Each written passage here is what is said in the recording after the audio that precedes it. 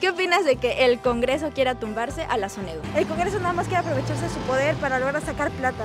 O sea, a mí también me gusta la plata, pero no se tiene que hacer en contra del país y se supone que están ahí para servir, ¿no? O sea, eh, se sabe que están ahí por Dios y por la plata, ¿no? Pero que sean un poquito más, no sé, decentes.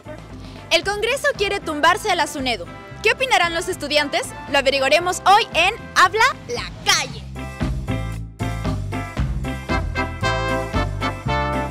Opinas de que el Congreso quiera tumbarse a la SUNEDU? Bueno, la verdad, mi opinión acerca del tema es que estaría estoy en contra de ese, de quitarle la autonomía a la SUNEDU eh, por parte de los rectores. ¿no? Que se quiera modificar su consejo este directivo ¿no? para otros fines, ¿no? un tanto ya más politizados. Los que son supervisados se vuelven supervisores y creo que se pierde la objetividad eh, bajo ese punto. No puede tirar al tacho todo el esfuerzo ya que se ha avanzado, así que no, no, estoy, a favor de ello. Afecta a mis compañeros estudiantes y a mí, porque la SUNEDU es la entidad que regula todo esto en cuanto a las instituciones y pues no es correcto. Siento que es una pugna entre sectores eh, nacionales. Es claro la, la intención de beneficiar a ciertas empresas, a ciertas universidades y me parece un, cachetazo a la cara a la población porque es como que es muy claro lo que están intentando hacer y quererlo maquillar de otra forma.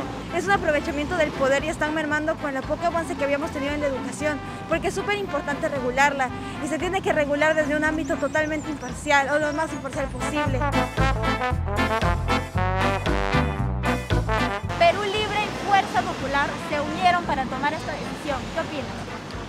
Que no me sorprende, no, por ser de izquierda o derecha son mejores o peores, sino que cuando los beneficios propios son los que mandan, da igual de donde sean, al final tratan de hacer lo que más le convenga. Que se hayan unido esos dos partidos este, significa que hay un interés mayor por parte de esto para tratar de controlar las decisiones que tiene la SUNEDU y estaría vulnerando también el, este, la autonomía. Perú Libre y Fuerza Popular los dos tienen conexiones con universidades privadas de, medio pelo, como se dice, ¿no? Y entonces para ellos les conviene que no haya una, un filtro de calidad que les, eh, que les impida crear universidades privadas como eh, por montones, ¿no? Ya se sabe todo el entrimado que tienen ellos, así que no me sorprende.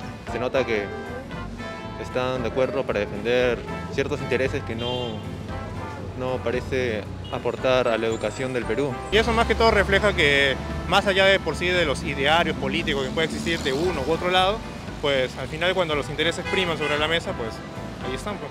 Tal vez hay intereses por debajo de cada uno. Tal vez algunos tienen, algunos pueden tener sus empresas o quieren formar sus empresas de, educación, quieren formar sus propias universidades. Parece una mafia, ¿no? Tipo, me da la idea de que están lucrando con eso.